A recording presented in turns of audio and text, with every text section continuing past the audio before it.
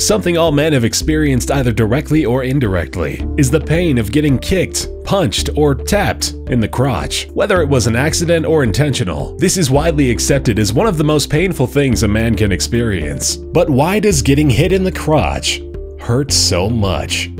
So if you didn't know, the family jewels hang low to maintain a particular temperature of about 68 degrees Fahrenheit. Unlike other organs, this part of your body lacks any muscle, bone, or even fat to cushion and protect from impacts.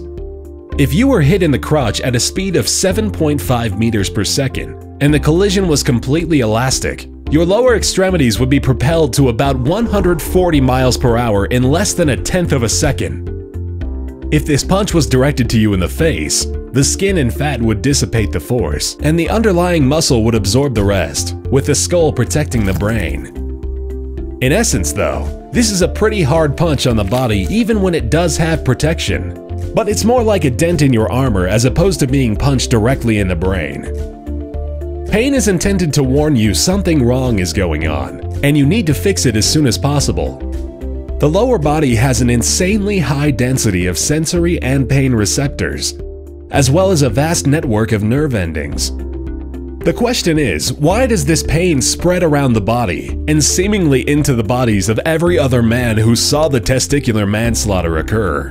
With a signal speed of about 270 miles per hour, the same nerve that is responsible for your crotch also covers the stomach and abdominal region, as well as the heart. This leads to the abdominal pain you feel, which sometimes results in nausea. The release of endorphins decreases oxygen levels in the brain, leading to nausea as well, but also terribly painful throbbing headaches. As an innocent bystander, you may flinch or even have phantom reactions, even if you're not the victim. It is believed to be a result of mirror neurons, which are thought to trigger minor reactions to others' pain.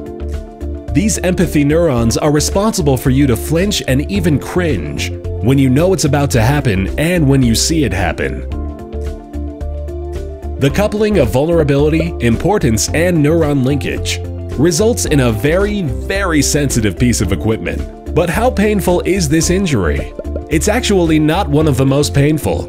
It's the concentration and variation in types of pain that is what makes this so harmful but the short duration is the final saving grace.